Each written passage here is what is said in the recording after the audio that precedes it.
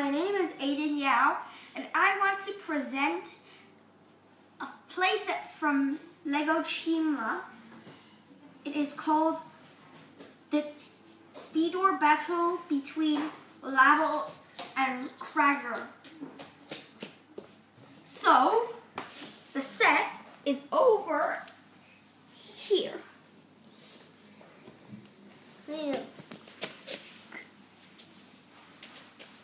And the orbs are over here. And here are the speedors with the minifigures.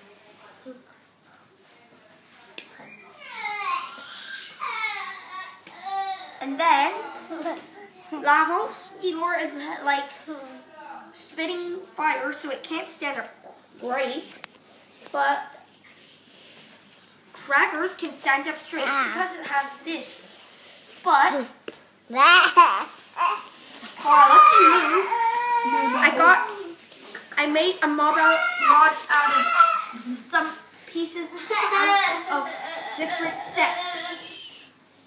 It can make the person stand, the set stand up again. So let, you can see me putting the mob on the speedor, and then here it looks. Nice.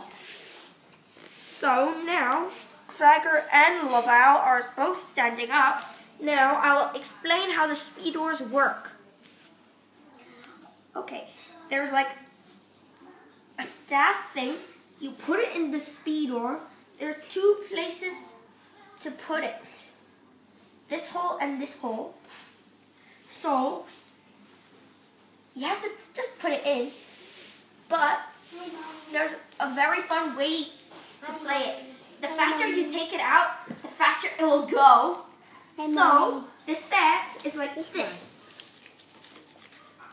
Laval and Cragger need to get past this lion head and then get through these flames and then jump up this ramp and see who knocks down this chi tower first.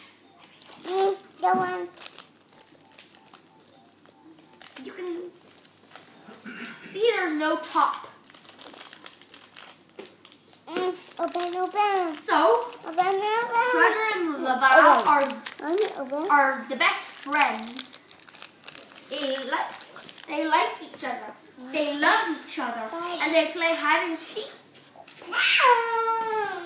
They, they play hide and seek together. No. So, that's how this set explains. Thank you for watching.